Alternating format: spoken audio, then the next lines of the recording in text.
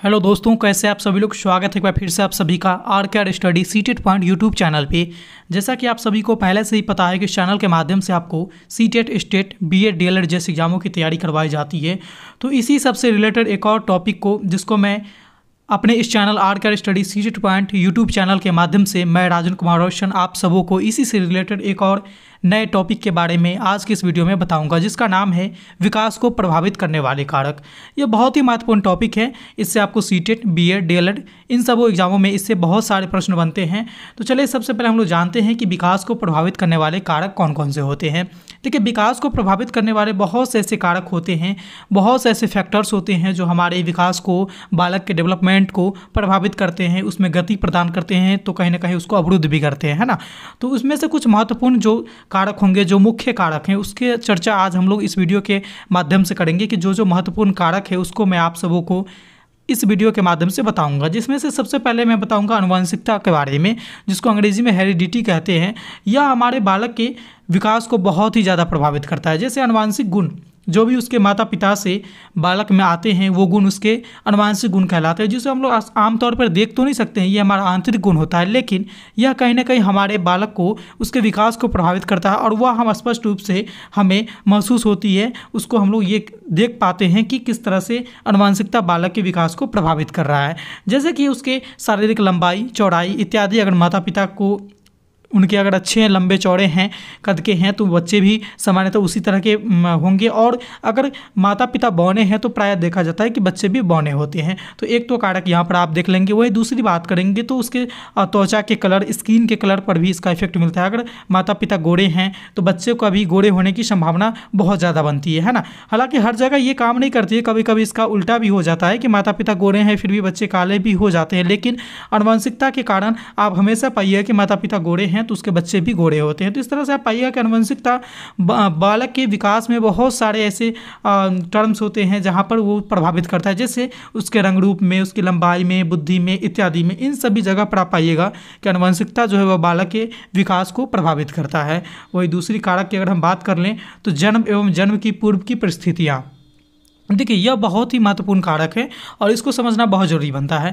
जैसे कि बालक का विकास माँ के गर्भ से ही शुरू हो जाता है। जैसा कि आप सब लोग इस, पहले से भी जान रहे होंगे, अगर नहीं जानते हैं तो आज जान लीजिए कि बालक का विकास की जो प्रक्रिया है, वो माँ के गर्भ से ही शुरू हो जाती है, यानी गर्भाकाल से ही शुरू हो जाती है, गर्भावस्था से ही शुरू हो जाती है। तो उस समय क्या होता है कि माँ के शारीरिक स्वास्थ्य उसके पौष्टिक भोजन मिल रहे हैं कि नहीं, उनको उचित देखभाल हो रही है अथवा नहीं हो रही है।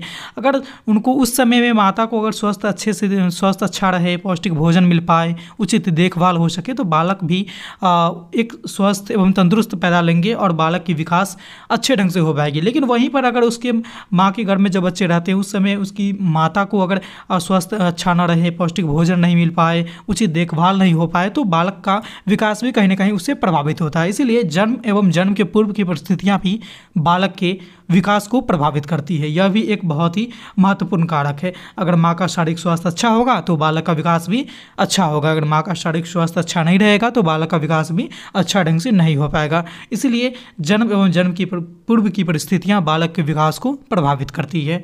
तीसरा पॉइंट हम आपके लिए लेकर के आए हैं पोषण। ठीक है, पोषण। जिसको हम लोग बोलते हैं भोजन के नाम से भी कह सकते हैं, लेकिन भोजन में और पोषण में अंतर है।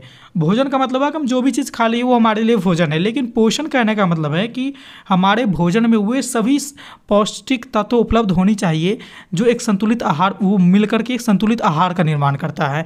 संतुलित आहार किसको कहेंगे? कि वैसा भोजन जिसमें सभी प्रकार के पौष्टिक तत्व उचित मात्रा में उपस्थित हो, उस प्रकार के भोजन को संतुलित आहार कहते हैं या फिर उसको हम लोग पोषण कह सकते हैं, ठीक है? तो पोषण अगर बच्चे को अच्छा से मिलेगा तो शारीरिक विकास भी अच्छे ढंग से हो पाएगी। अगर पोषण यानी संतुलित आहार नहीं मिल पाएगी बच्चे को तो बच्चे का विकास अवरुद्ध हो जाएगी वहाँ पर है ना? ऐसे में बच्चे कुपोषित हो जाते हैं या फिर अन्य कई प्रकार की बीमारियों से ग्रसित हो जाते हैं। तो आपने क्या देखा कि पोषण बालक के विकास को भी बहुत अच्छे ढंग से प्रभावित कर रहा है। अच्छे से मिलेगा कि तो बालक की विकास की गति तीव्र हो जाएगी। अगर पोषण अच्छे से नहीं मिल पाएगा तो बालक की विकास की गति धीमा हो जाएगी, स्थिर हो जाएगी, है ना? तो पोषण बालक के विकास को इस तरह से प्रभावित करता है। मिला पोषण तो ठीक है, नहीं मिला तो बच्चे को अनेकों प्रकार की बीमारियाँ हो सकती है, जैसे कुपोषित, जो एक सिंपल सा साधारण सा बीमारी है जिससे आप सभी लोग परिचित होंगे, अपने आस पड़ोस में भी देखते होंगे कि वैसे बच्चे जिसको अच्छे से भोजन नहीं मिल पाती है तो वो कुपोषित हो जाते हैं, ठीक है। अगला कारक हम लेकर के आए हैं आपके लिए वातावरण। देखिए, वातावरण में बहुत सारे ऐसे कई फैक्टर होते हैं, जो हमारे बालक के विकास को प्रभावित करते हैं, है ना? बहुत सारे ऐसे कारक होते हैं, जैसे कि सबसे पहली बात कर ले कि वातावरण में अगर बच्चे का माहौल, जिस परिस्थिति में बच्चे रह रहा है, जिस परिवेश में रह रहा है, अगर वह सकारात्मक है।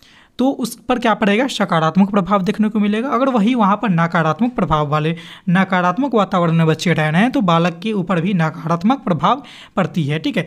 जैसे कि आप देखेंगे कि एक धार्मिक परिवेश में रहने वाले बच्चे में धार्मिक प्रवृत्ति अपने आप आ जाती है और वहीं दूसरी तरफ़ गाली गलौज वाले माहौल में अगर बच्चे रहते हैं तो वह बच्चा भी गाली गलौज सीख जाता है और उसी के जैसे अपने आप को ढाल लेता है। तो आप सोच रहे होंगे कि बच्चे को तो किसी ने गाली गलौज सिखाया नहीं, फिर वो गाली कैसे सीख लिया? तो आप सबको पता है कि बच्चे में एक गुण होती है अनुकरण करने की, है ना? वह एक जन्मजात गुण होती है। और बच्चे स्टार्टिंग दौर में या फिर जब कभी भी अनुकरण के द्वारा ही सीखते हैं तो बच्चे जैसे जैसे अपने आस पड़ोस में बड़े को करते हुए देखेंगे, अपने मित्रों को करते हुए देखेंगे, वैसे ही वह भी करना प्रयास करेगा। तो उसको अगर धार्मिक परिवेश मिलती है तो बच्चे भी धार्मिक हो जाएँगे गाली गलौज वाले परिवेश मिलेंगे तो बच्चे भी उसी ढंग के हो जाएँगे, है ना? इसीलिए वातावरण बच्चे के ऊपर बच्चे के विकास में सकारात्मक प्रभाव भी डालता है और साथ ही साथ वातावरण नकारात्मक प्रभाव भी डालता है। तो आप समझ गए कि वातावरण बालक के विकास को किस तरह से प्रभावित करता है। अगला आता है हमारा जेंडर ठीक है, लिंग। यानी कि हमारे जेंडर को लेकर के जो भेदभाव की जाती है हमारे समाज के अंतर्गत, जो एक रूढ़िवादी अवधारणा बनी हुई है है ना?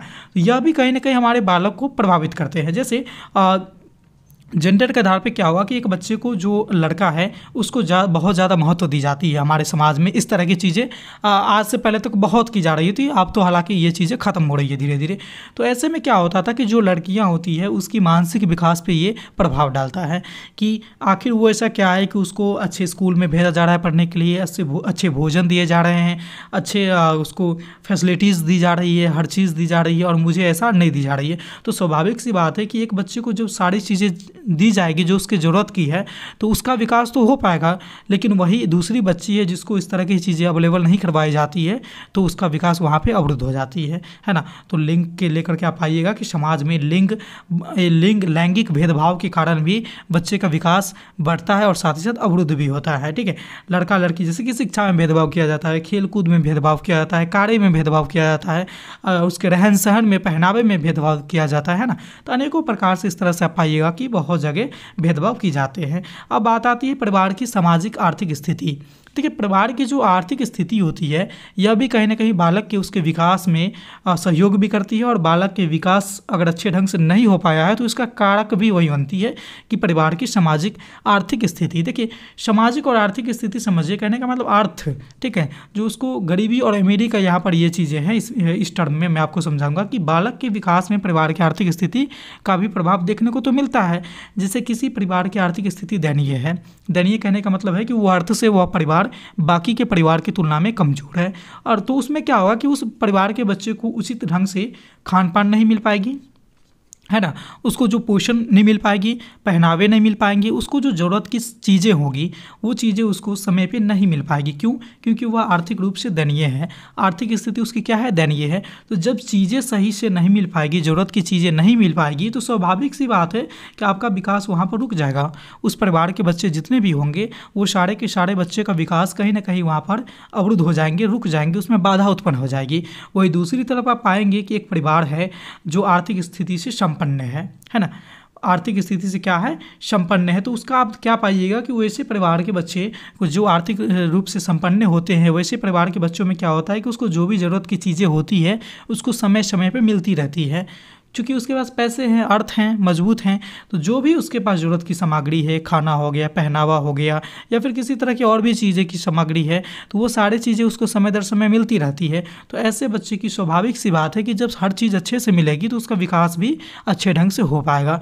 इसलिए परिवार की सामाजिक और आर्थिक स्थिति भी बालक के विकास को कुछ इस तरह से प्रभावित करते हैं, जो आपने यहाँ पर अभी जाना इसको, ठीक है? आगे होते हैं हमारे शिक्षक। शिक्षक की बात करें तो ये बहुत ही महत्वपूर्ण कारक हैं।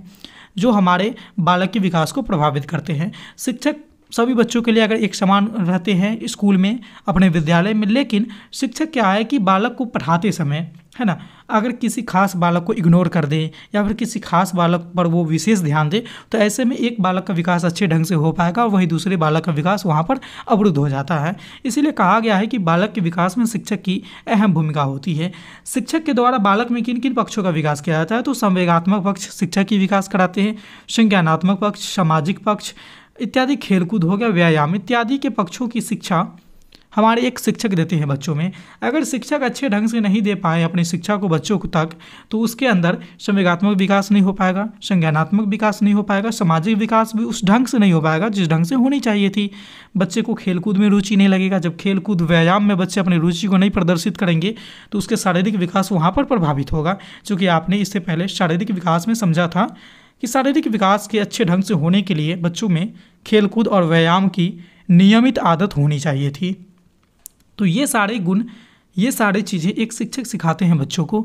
अगर शिक्षक इस तरह की चीज़ों को कमी कर देंगे तो कहीं ना कहीं बच्चे का विकास रुक जाएगा, थम सा जाएगा और प्रभावित भी होगा, है ना? तो इस तरह से एक शिक्षक बच्चे के विकास को प्रभावित करते हैं। अब आजकल के ज़माने में सबसे ज़्यादा जो बच्चे के विकास को प्रभावित करते हैं, वह है जनसंचार माध्यम, मीडिया। है ना? मीडिया के अंतर्गत आप पाइएगा कि बहुत से बच्चे हैं जो आजकल television, laptop, desktop, Google, Instagram, Facebook, film, magazine इत्यादि को देखते हैं, पढ़ते हैं, सुनते रहते हैं। आप पाइए कि इसके बिना बच्चे की कल्पना ही नहीं की जा सकती है। गूगल के बिना हो गया, इंस्टाग्राम के बिना हो गया, आपको फेसबुक है, यूट्यूब है, बहुत से ट्विटर हैं। इस तरह के बहुत से ऐसे सोशल मीडिया प्लेटफॉर्म हैं जहाँ पे बच्चे आजकल इंगेज रहते हैं। ठीक है? तो अब ये कैसे प्रभावित करता है बच्चे के विकास को? देखिए, ये पहली बात तो ये बच्चे के विकास को जो प्रभावित करने वाली बात हम कह रहे हैं तो प्रभावित का मतलब दो होता है। एक तो या तो उसके विकास को बढ़ा दे या फिर उसको विकास को घटा दे। यानी सामान्य अवस्था में किसी तरह के चेंजिंग लाता है कोई चीज़ तो उसको हम लोग प्रभावित बोलेंगे। प्रभावित का मतलब सिर्फ़ नेगेटिव नहीं होती है, पॉजिटिव भी होती है। तो जैसे आप लोग यहाँ पर देख लीजिए कि आप हमारे वीडियोज़ को देख रहे हैं, ठीक है? आप देख रहे हैं तो किसकी सहायता से देख रहे हैं? आप यूट्यूब की सहायता से देख रहे हैं, ठीक है? किसकी सहायता से देख रहे हैं? यूट्यूब की सहायता से।